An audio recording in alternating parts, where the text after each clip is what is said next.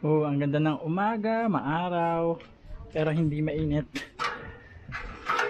Labas tayo sa bago nating gate.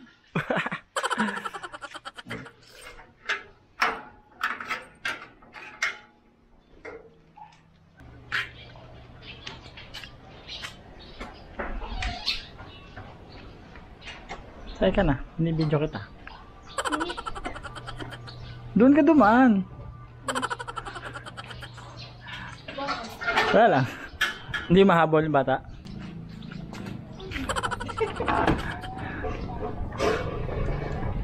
Sakay ka na.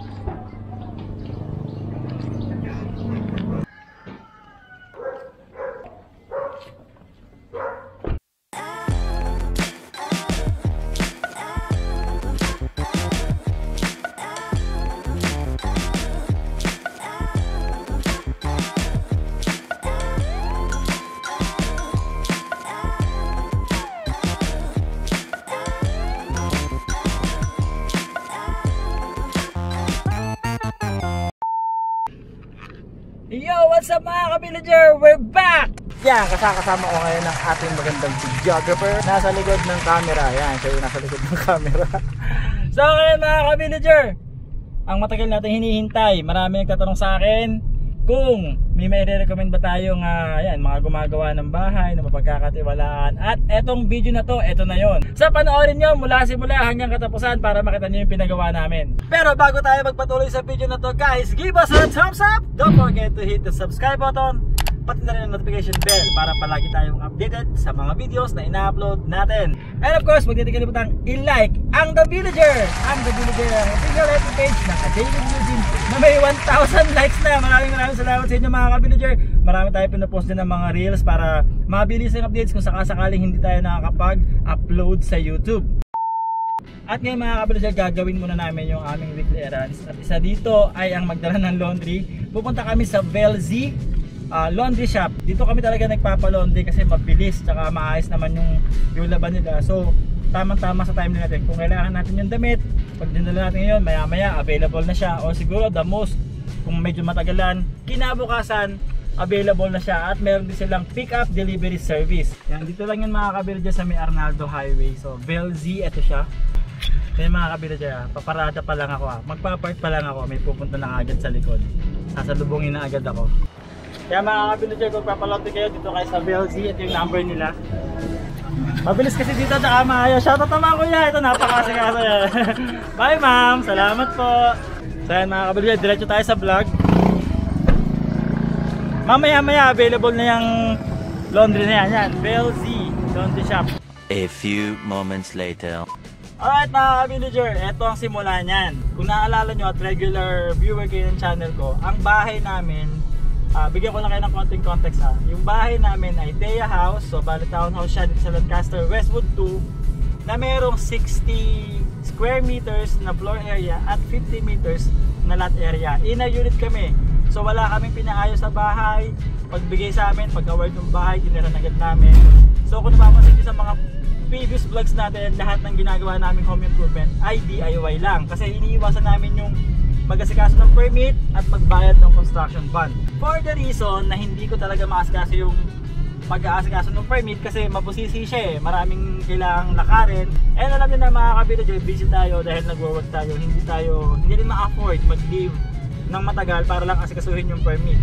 So to make the long story short, yung nakikita nyong home improvement natin ngayon na pinaka, isa sa mga pinagawa namin talaga na na may bayad or hindi namin DIY ayan, yan yung pinaka bubong ng grahe namin.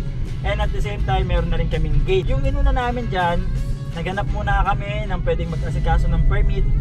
Of course naghanap kami ng mapagkakatiwalaan at yung legit. Kaya ang binayad namin sa pag-aasikaso ng permit ay worth 10,000 pesos. Pero hindi lahat yon ay napunta sa nag-aasikaso ng permit. So yung napunta mga kabilogers sa nag-aasikaso ng, uh, ng permit ay very minimal lang. Pero isipin nyo, kasi kung hindi ko naman gagawin yun, na magbabayad ako na mag-aasikaso ng permit, hindi ako makaka-proceed sa ipapagawa naming home improvement. Pumunta na tayo sa pinagawa namin, kung napapansin niyo before, yung bahay namin, walang bubong sa garahe yan. Sa mga previous vlogs natin, in-upload ko rin yung video na nagpakabit kami ng retractable awning kumbaga ito yung bubong or pinakatrapal na napo-fold na parang sa mga Starbucks type. Yan, yung mga bagay na yan nung pinakabit namin, wala siyang construction bond. Hindi kami ni-require kasi installation lang naman siya.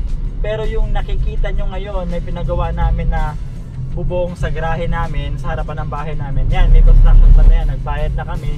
And uh, kompleto ng permit yan. Okay, sa mga nagtatanong kasi nag-post na ako niyan eh, before ng picture.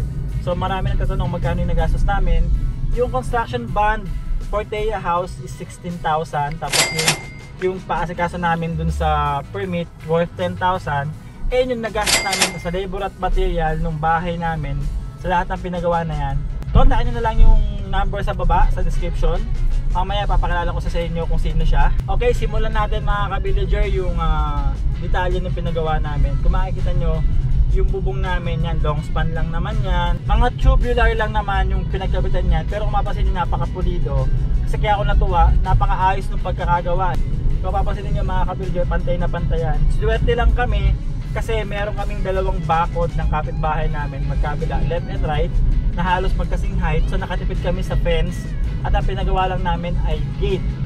Yan. Reminder lang mga kabiler pagka ganito yung kaso bawal na bawal tayong gumamit ng uh, pader ng kapitbahay. Bawal kayong dumikit dyan bawal kayong magkabit ng kahit ano. Pwede nyo lang siyang gamitin as bakod pero hindi kayo pwedeng dumikit. So kung mapansin ninyo yung bakod namin o yung gate namin ginawa namin ng sariling poste para doon ikabit yung gate and yung gate namin. May mga tatanong din ba't to mababa? Yan yung choice namin na gate. Kasi ayaw namin nung masyadong mataas kasi kulong. Parang naliliitan kami sa lugar. So gusto namin yung maaliwalas lang. At the same time hindi rin makakalabas yung aso. Meron din kami nilagay na ilaw para sa gabi naman. Mas maganda siyang tingnan. So nagbigay kami ng tatlong ilaw dyan na kung papansinin nyo napakaganda din ng pagkakagawa kasi wala kayong makikitang mga wire na nakalabas. At alam ko may magre-react din na sabihin violation yung pinagawa namin. Dahil buong harapan namin ay may bubong. Yes totoo po yan. Um, ang, appro- ang approve lang kasi ng Lancaster uh, na home improvement, hindi sakop yung buong bubong ng harapan ninyo. Garahe lang talaga yung pwede nyo lagyan ng bubong. Actually, yun ang pinili namin kahit hindi na namin makuha yung construction bond kasi mas mamamaximize mo yung bubong mo kahit mas magiging komportable ka kung buong harapan mo ay may bubong. Yung design nga pala ng gate namin, kung mapapansin ninyo, ano siya, marami siyang tupi kasi ang objective ko dyan, pag binuksan yung gate, hindi siya masyadong mahaba. Kasi mas mahirap magpasok ng sasakyan kapag ka nakabukas yung gate. May option din yung tanggalin mga kabilin. Pag kailangan mo ng mas maluwag na space, kasyang kasya din yung sasakyan natin, yung Suzuki Ertiga natin na 7-seater. Kasya siya kasi considering na inner unit kami, maliit yung grahe, pero we manage na mapagkasya siya. Parang yung gate na yan, dahil ganyan ang design niya, pinag-isipan namin mabuti para at least hindi kami lalagpas sa property line.